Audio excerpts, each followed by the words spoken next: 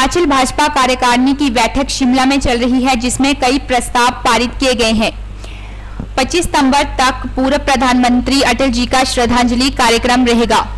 23 से आयुष्मान भारत कार्यक्रम शुरू किया जाएगा। 25 सितंबर को पंडित दीनदयाल जन्मदिन मनाया जाएगा। 26, 23, 28 को अभ्यास वर्ग आयोजित किए जाएँगे।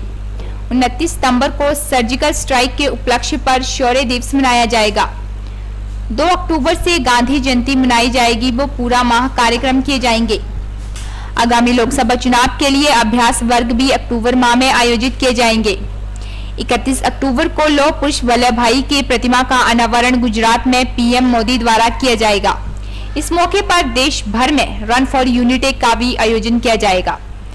रणधीर शर्मा ने हिमाचल कांग्रेस पर जमकर निशाना साधा और कहा कि हिमाचल प्रदेश को कांग्रेस आपसी गुटबाजी में उलझी हुई है।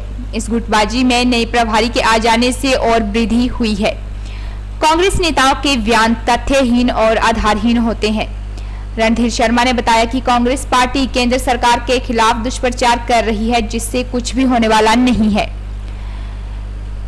कांग्रेस राष्ट्रीय अध्यक्ष राहुल गांधी हास्य का पात्र बन गए हैं, जबकि प्रधानमंत्री नरेंद्र मोदी की देश विदेश में ख्याति हो रही है। जिससे घबराकर कांग्रेस पार्टी ने अपनी हार स्वीकार कर ली है। परिणाम स्वरूप कांग्रेस उन दलों से भी गठबंधन कर रही है जो कभी कांग्रेस की विरोधी रही हैं। कांग्रेस पार्टी न नेता है, न नीति है।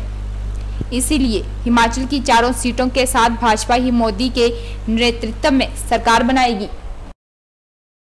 आने वाले समय में आयुष्मान भारत योजना हमारी केंद्र सरकार शुरू कर रही है, जिससे 10 करोड़ परिवारों को पाँच लाख का स्वास्थ्य कवरेज मिलेगा। 50 करोड़ लोग उससे लाभान्वित होंगे। उसके लिए सरकार का धन्यवाद किया गया है। और इस प्रस्ताव में कांग्रेस पर आरोप लगाया गया है कि हमारी सरकारों की उपलब्धियों को देखकर कांग्रेसी नेता बौखला गए हैं, चाहे वो राष्ट्रीय स्तर के, चाहे वो प्रदेश के नेता है। बौखलाहट में तथ्यहीन, आधारहीन बयानबाजी कर रहे हैं। कोई मुद्दा उनके पास नहीं है।